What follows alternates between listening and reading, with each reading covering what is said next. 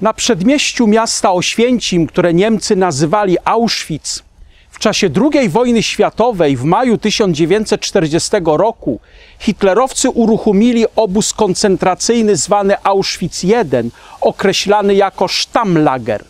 Obóz miał służyć jako instrument terroru, a następnie eksterminacji tysięcy polskich patriotów.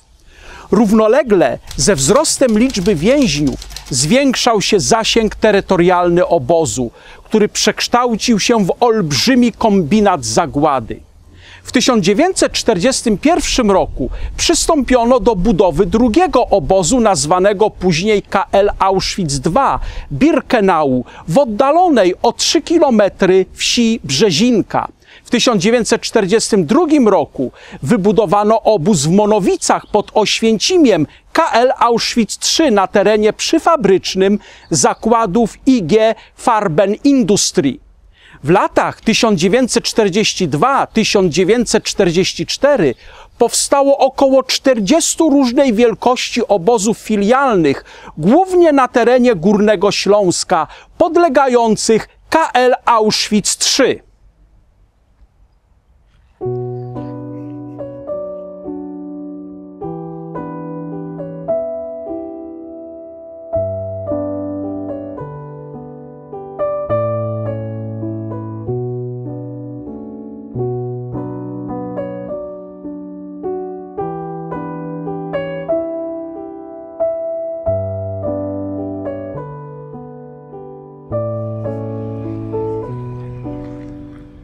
W Brzezince, obok obozu koncentracyjnego dla mężczyzn i kobiet, czynny był od wiosny 1942 roku obóz zagłady, gdzie uśmiercano ludzi gazem cyklon B w specjalnych komorach. Z początku zwłoki zakopywano, a później spalano.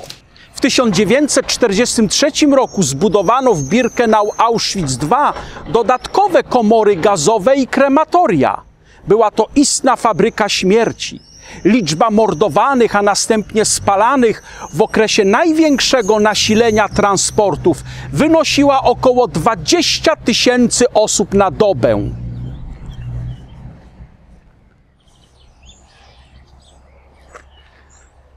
Spalanie zwłok odbywało się wówczas nie tylko w krematoriach, ale i na stosach w specjalnie wykopanych dołach. Transporty przeznaczonych na śmierć kierowano do komór gazowych wprost z pociągów bez rejestracji. Dlatego nie jest możliwe ustalenie dokładnej liczby ofiar. W ciągu niespełna pięciu lat istnienia w Auschwitz zginęło, jak szacują historycy, od jednego do półtora miliona ludzi.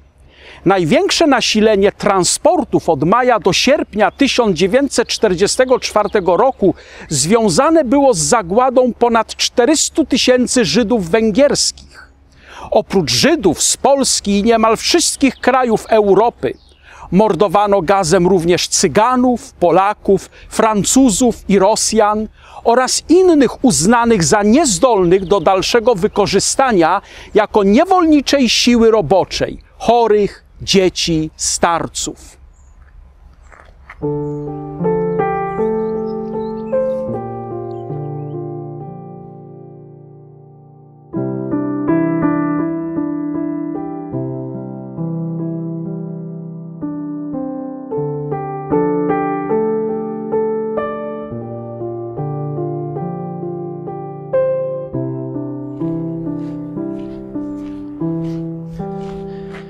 Przez obóz koncentracyjny w Oświęcimiu przeszło ponadto około 405 tysięcy rejestrowanych więźniów różnych narodowości, w większości Polaków. Spośród nich zginęło około 340 tysięcy, wyniszczonych pracą, głodem, chorobami, nieludzkim traktowaniem.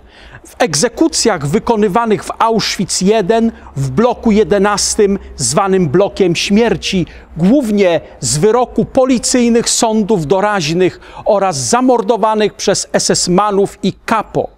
Kompleks obozowy rozbudowywano stale do projektowanej pojemności około pół miliona więźniów siły roboczej dla przedsiębiorstw SS i niemieckich koncernów przemysłowych.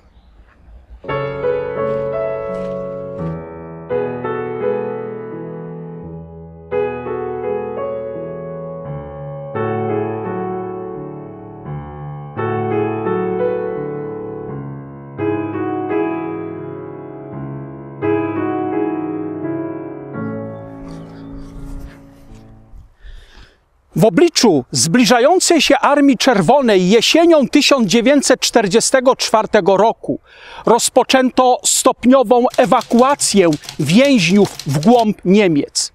18 stycznia 1945 roku, po zamordowaniu 98 tysięcy więźniów, ewakuowano z obozu pośpiesznie około 58 tysięcy ludzi w czasie wielkich mrozów, pieszo, bez żywności, nienadążających w marszu zabijano.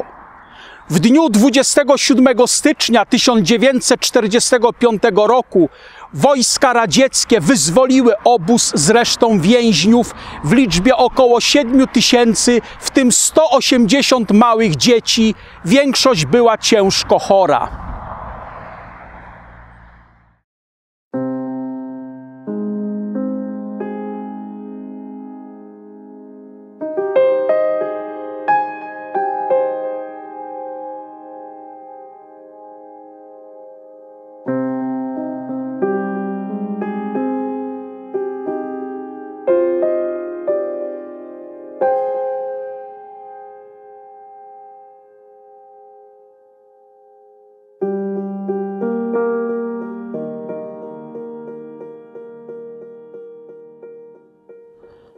Idea Holokaustu Żydów, a w drugiej kolejności także narodów słowiańskich, zrodziła się w umyśle Adolfa Hitlera. Przejęli ją jego notable Adolf Eichmann, Heinrich Himmler i inni. Pismo Święte uchyla nam rąbka tajemnicy. Dlaczego tak się stało? Biblia unosi kurtynę dziejów i ukazuje nam kulisy tej historii, dla ludzkiego oka niedostrzegalne. Z punktu widzenia biblijnej filozofii historii, Holokaust Żydów i narodów słowiańskich zainspirował w umysłach Hitlera i jego zwolenników szatan. Pismo Święte wyraźnie podaje, że umysł człowieka może być pod wpływem mocy ciemności albo Boga. W jaki sposób szatan wpływa na nasze umysły, tego nie wiemy. Podobnie nie wiemy, w jaki sposób Bóg oddziaływuje na nas. Bóg zna nasze myśli, co potwierdzają liczne nauki Pisma Świętego. Czy szatan zna nasze myśli? Czy jest w stanie wejść w nasz umysł? Trudno powiedzieć. Być może analizując nasze zachowanie się, pragnienia i słowa, wyciąga wnioski odnośnie naszych myśli i zamiarów dokonuje oceny naszych charakterów, osobowości oraz dobrych i złych cech, naszych mocnych i słabych stron. W każdym bądź razie jest pewne, że szatan ma wpływ na nasz umysł i może nim zawładnąć. Walka między dobrem a złem toczy się w naszych umysłach. To właśnie w sferach umysłowych człowieka zaczyna się historia ludzkości – wojen i obozów koncentracyjnych. Mamy przykłady w Piśmie Świętym tego, do czego zdolni są ludzie zajmujący wysokie stanowiska wojskowe i państwowe, jeśli ich umysły dostaną się w ręce sił zła. Najstarsza historia biblijna dotycząca zgubnego wpływu szatana na nasze umysły, tych, którzy mają władzę, została zapisana w księdze Joba. Księga Joba ze Starego Testamentu pochodzi z XV wieku przed naszą erą i jest bardzo możliwe, że jej autorem jest Mojżesz. Przedstawia ona Joba, bogatego i bogobojnego człowieka zamieszkującego starożytną krainę Us na Bliskim Wschodzie i jego doświadczenia, tak ściśle związane z działalnością szatana. Oddajmy głos księdze Joba. Przeczytajmy sobie teraz tekst z księgi Joba, rozdział pierwszy od wersetu pierwszego po piąty. Był mąż w ziemi Us imieniem Job. A mąż ten był nienaganny i prawy, bogobojny i stroniący od złego. I urodziło mu się siedmiu synów i trzy córki, a dobytek jego stanowiło siedem tysięcy owiec i trzy tysiące wielbłądów, pięćset par wołów i pięćset oślic oraz bardzo wiele służby. Był to mąż najmożniejszy ze wszystkich mieszkańców wschodu. Synowie jego zwykle wydawali uczty, każdy w swym domu w swoim dniu.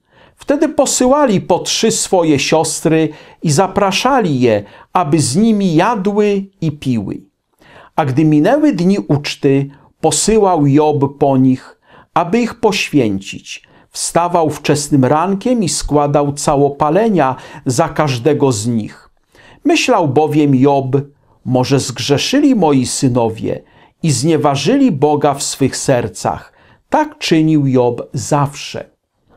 Tych początkowych wersetach księgi Joba przedstawiona jest jego postać. Zamieszkuje ziemię Us, a więc krainę na pograniczu obecnej Jordanii i Arabii Saudyjskiej. Jest bardzo bogaty, a to znaczy, że jest znany i ma spore wpływy. Jest również niezwykle bogobojny i to do tego stopnia, że profilaktycznie składa ofiary przebłagalne Bogu za swoją rodzinę, gdyby ewentualnie dopuściła się jakiegoś grzechu. Job jest postacią czystą i wzorcową. W dalszej części pierwszego rozdziału Księgi Joba od wersetu 6 po 12 czytamy następujący tekst. Otóż zdarzyło się pewnego dnia, że przybyli synowie Boży, aby się stawić przed Panem, a wśród nich przybył też i szatan. I rzekł Pan do szatana: Skąd przybywasz? A szatan odpowiedział Panu, mówiąc: Wędrowałem po ziemi przeszedłem ją wzdłuż i wszerz. I rzekł Pan do szatana: czy zwróciłeś uwagę na mojego sługę Joba, bo nie mam równego na ziemi. Mąż to nienaganny i prawy, bogobojny i stroniący od złego. Na to szatan odpowiedział Panu, mówiąc, czy za darmo jest Job tak bogobojny? Czy ty nie otoczyłeś go zewsząd opieką wraz z jego domem i wszystkim, co ma?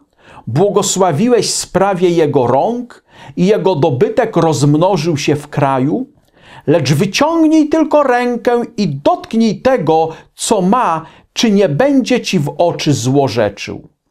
Na to rzekł Pan do szatana: Oto wszystko, co ma, jest w Twojej mocy, tylko jego nie dotykaj. I odszedł szatan sprzed oblicza Pana. Pewnego razu w niebiesiech, jak czytaliśmy, w sali tronowej Boga zebrała się Rada Niebiańska. W skład Rady wchodziły istoty niebiańskie, zapewne reprezentujące inne światy i cywilizacje wierne Bogu, określone w tekście synami Bożymi. Niespodziewanie na posiedzenie Rady przybył szatan. Bóg zasugerował szatanowi, że jako anioł zbuntowany przeciwko Bogu nie powinien tu być. Wtedy szatan stwierdził, że reprezentuje królestwo ziemian, a ziemia jest częścią wszechświata. Z tego tytułu też ma prawo do wzięcia udziału w obradach. Bóg odpowiedział, że szatan nie do końca ma prawo reprezentować ziemię, ponieważ żyją na niej jeszcze ludzie wierni Bogu. I wskazał na Joba. Na to szatan rzucił publicznie przed Radą Niebiańską potwarz na Boga i Joba. Stwierdził, że relacje między Bogiem a Jobem opierają się na wzajemnym interesie. Job czci Boga za błogosławieństwa i wymierne korzyści zaproponował, aby sprawdzić szczerość i bezinteresowność wiary Joba. próbował przekonać wszystkich, że gdyby Job został pozbawiony tego wszystkiego, co osiągnął, na pewno od Boga by się odwrócił. Z ciężkim bólem serca, aby uratować Joba i wykazać, że szatan kłamie, Bóg zgodził się na to, aby oskarżyciel odebrał Jobowi wszystko oprócz życia i zdrowia. Co się stało? Przeczytajmy dalej ten sam rozdział, wersety od 13 po 15, a następnie 17. I zdarzyło się pewnego dnia, gdy jego synowie i jego córki jedli i pili wino w domu swego najstarszego brata, że przybył posłaniec do Joba, mówiąc: Woły orały, a oślice pasły się obok nich. Wtem napadli Sabejczycy i zabrali je, a sługi pozabijali ostrzem miecza. Uszedłem tylko ja sam, aby ci o tym donieść. Gdy ten jeszcze mówił, przyszedł inny i rzekł: Chaldejczycy wystawili trzy chówce, napadli na wielbłądy i zabrali je, a sługi pozabijali ostrzem miecza. Uszedłem tylko ja sam, aby ci o tym donieść. I tak pewnego razu nadciągnęły z południa Półwyspu Arabskiego oddziały wojskowe Królestwa Saby. Najechały one posiadłości Joba, dokonały mordów, zniszczeń i rabunku. Jeden z ocalonych sług doniósł o tym patriarsze. Skąd w głowach dowódców wojsk sabejskich zrodził się taki pomysł? Dlaczego akurat najechali posiadłości Joba? Odpowiedź jest oczywista. Szatan, realizując swój plan przeciwko Bogu i Jobowi, wpłynął na umysły generalicji Saby, przejął nad nimi kontrolę i użył przeciwko Jobowi. Jestem pewien, że oni nawet się nie domyślali, że są pionkami w tej grze. W międzyczasie z północy, z dalekiej Chaldei w Babilonii, nadciągnęły wojska chaldejskie i spustoszyły pozostałe ziemie Joba. Ocalały z pożogi sługa doniósł o tym patriarsze. Nie mamy żadnych wątpliwości, że oto Biblia odkrywa kulisy wielkiego boju między dobrem i złem, których my śmiertelnicy nie zawsze dostrzegamy szatan przejął kontrolę nad dowódcami sztabu wojsk chaldejskich i skierował ich przeciwko Jobowi. Oni także byli nieświadomi tego, że są trybikiem w tej podłej intrydze podjętej przez szatana przeciwko Bożej sprawiedliwości. Bliższy naszym czasom Nowy Testament potwierdza, że ludzie poddawszy się wpływom szatana, są zdolni dokonywać zbrodni na niewinnych osobach. Za przykład ewangeliści podają Judasza, jednego z dwunastu apostołów Jezusa. Zapewne od pewnego czasu coś złego działo się w umyśle Judasza. Na pewno Bóg swoimi sposobami próbował pomóc Judaszowi wybrać sprawiedliwą drogę życia i odrzucić insynuacje szatana na jego umysł. W końcu jednak przyszedł taki moment, że Judasz uległ i szatan całkowicie zawładnął jego umysłem. Wtedy Judasz podjął decyzję dokonania zdrady Jezusa. Ewangelista święty Łukasz wyraźnie napisał, że Judasz dokonał zdrady Jezusa wtedy, gdy wstąpił w niego szatan. Stało się to prawdopodobnie we wtorek, na cztery dni przed piątkiem, w którym Pan Jezus został ukrzyżowany wiosną 31 roku. Oddajmy głos Ewangelii świętego Łukasza. Tam popatrzmy na rozdział 22 i przeczytam wersety od pierwszego po szósty. I przybliżało się święto przaśników, zwane Paschą, i szukali arcykapłani i uczeni w piśmie sposobu, jakby go zgładzić, bali się bowiem ludu. W Judasza zaś, zwanego Iskariot, który należał do dwunastu, wstąpił szatan. I ten odszedłszy, umówił się z arcykapłanami i dowódcami straży co do sposobu, jak im go wydać. I ucieszyli się i ułożyli się z nim, że mu dadzą pieniądze. A on zgodził się i szukał sposobu, jakby go wydać z dala od ludu. Ostatnim natchnionym zapisem Nowego Testamentu, który pragnę przeanalizować w kontekście dzisiejszego tematu, to fragment listu do Efezjan.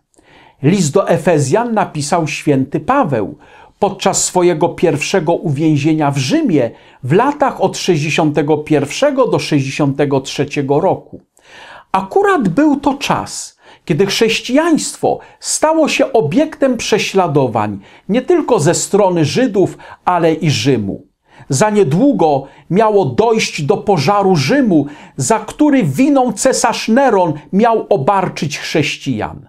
W kontekście nasilających się represji wobec chrześcijan, Paweł zapisał w liście do Efezjan w szóstym rozdziale i wersecie dwunastym następujące słowa gdyż bój toczymy nie z krwią i z ciałem, lecz z nadziemskimi władzami, ze zwierzchnościami, z władcami tego świata ciemności, ze złymi duchami w okręgach niebieskich. Apostoł wyjaśnia, że tak naprawdę wrogami wyznawców Chrystusa wcale nie są Żydzi, Rzymianie, cesarz i pogańscy urzędnicy Imperium Rzymskiego. W tym zapisie Paweł odsłania kurtynę dzielącą świat widzialny od niewidzialnego i wskazuje, że oni wszyscy są jedynie narzędziami w rękach mocy zła, szatana i demonów.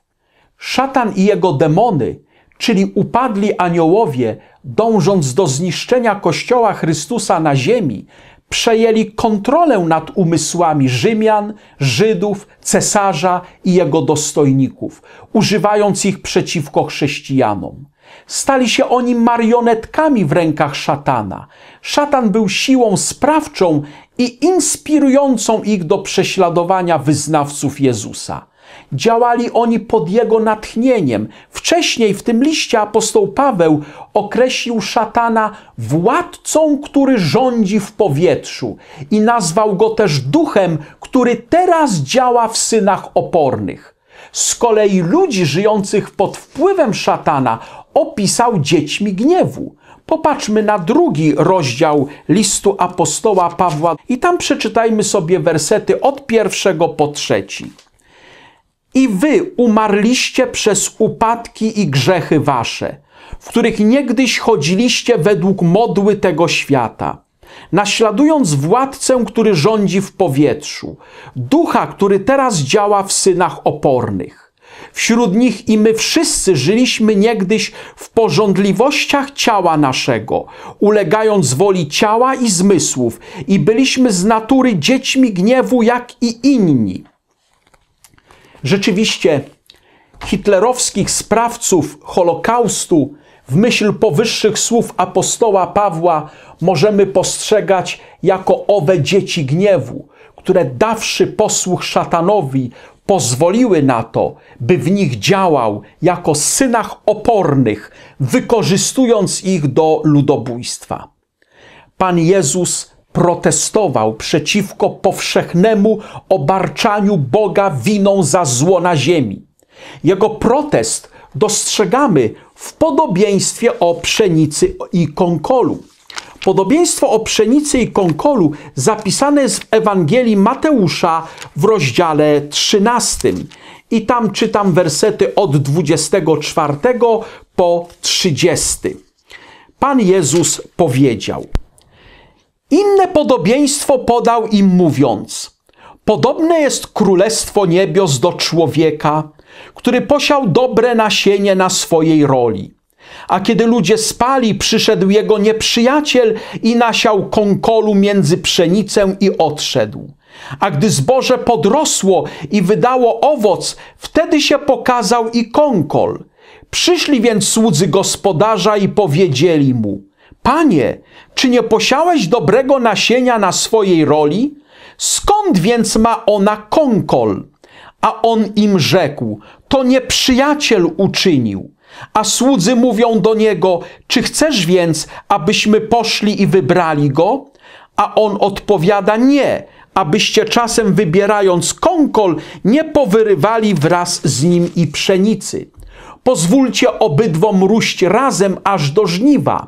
A w czasie żniwa powiem żeńcom: zbierzcie najpierw konkol i powiążcie go w snopki na spalenie, a pszenicę zwieście do mojej stodoły. I dalej czytamy. A wtedy rozpuścił lud i poszedł do domu.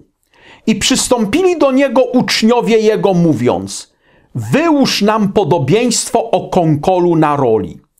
A on odpowiadając, rzekł: Ten, który sieje dobre nasienie, to syn człowieczy. Rola zaś to świat, a dobre nasienie to synowie królestwa. Konkol zaś to synowie złego, a nieprzyjaciel, który go posiał, to diabeł a żniwo to koniec świata, żeńcy zaś to aniołowie. Jak tedy zbiera się kąkol i pali w ogniu, tak będzie przy końcu świata. Syn człowieczy pośle swoich aniołów i zbiorą z królestwa jego wszystkie zgorszenia i tych, którzy popełniają nieprawość, i wrzucą ich do pieca ognistego. Tam będzie płacz i zgrzytanie zębów. Wtedy sprawiedliwi zajaśnieją jak słońce w królestwie Ojca swego. Kto ma uszy, niechaj słucha. A więc widzimy, że Pan Jezus wyjaśnił, iż Bóg stworzył świat doskonały, wolny od zła. To wskutek buntu Lucyfera pojawiło się zło. Słudzy gospodarza byli zdziwieni, że na polu wyrósł konkol. Oni też w pierwszej chwili przypisaliby winę za to gospodarzowi, czyli Bogu. Jezus w przypowieści tej zachwaszczenie roli przypisał szatanowi, a złych ludzi przyrównał do konkolu. Chociaż zło będzie istnieć do końca historii świata, nie będzie istnieć wiecznie w dniu ostatecznym zostanie na zawsze usunięte. Obarczanie Boga winą za Auschwitz-Birkenau jest błędem. Wynika z nieznajomości Pisma Świętego, które ten problem wyjaśnia. Większość ludzi nieznających Pisma Świętego czyni Boga winnym za okropieństwa obozów koncentracyjnych, bo tak jest najłatwiej. Najprościej jest zwalić odpowiedzialność za to na Boga. Jest to jednak niesprawiedliwe i uwłaczające Bogu. Pismo Święte odsłania kulisy historii ludzkości, niewidzialne dla ludzkiego oka. To zdeprawowani ludzie, którzy poddali swe umysły złu, winni są temu, co się stało w Auschwitz-Birkenau i wielu innych podobnych miejscach. Natomiast Bóg nie ma z tą zbrodnią nic wspólnego. Polska pisarka Zofia Naukowska w swoich medalionach, w akcie oskarżenia o całe zło II wojny światowej napisała, że to ludzie ludziom zgotowali ten los. Ludzie ludziom zgotowali ten los. Pozostało nam jeszcze odpowiedzieć na pytanie – Skoro Bóg nie jest winny obozom koncentracyjnym, to jednak dlaczego do tego dopuścił? Na te pytanie odpowiemy sobie w następnym odcinku naszych rozważań pod tytułem Auschwitz-Birkenau. Gdzie był Bóg? Dlaczego Bóg do tego dopuścił?